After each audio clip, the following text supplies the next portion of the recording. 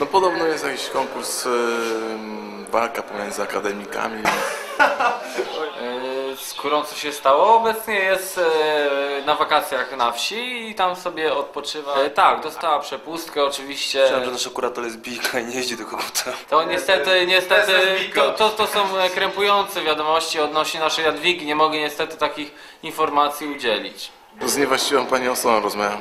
Nie, nie pokazuj Tam jest nasza kura. Tam, w tym budynku. Patrz, otworzę okno, to by było lepiej widać. Nie uważaj na lampę.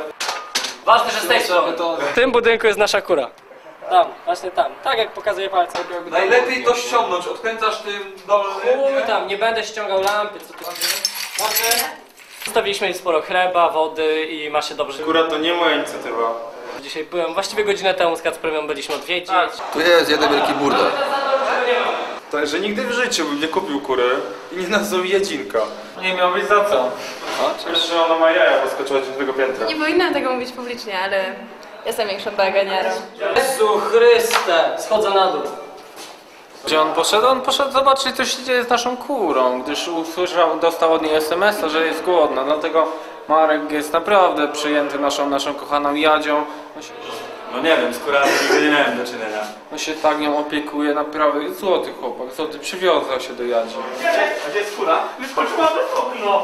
Jadwiga wyobraź sobie. Jadzia? No, ja, że ja. Tak, jak się należy. Ma już swój profil na Facebooku, możesz sobie ogarnąć jak chcesz do przyjaciół. Odrobiłam zadanie domowe. Mam partnera? Pan nie ma, a chcesz być partnerem? Ja Nie mogę iść windą, zaraz się zżygam. Dzięki, wypomógł się naprawdę. Naprawdę, bo jako jedyny tu się przykładam chociaż trochę do nauki. Panie Dareczku, proszę się zatrzymać. Super są. Dziewczyny też.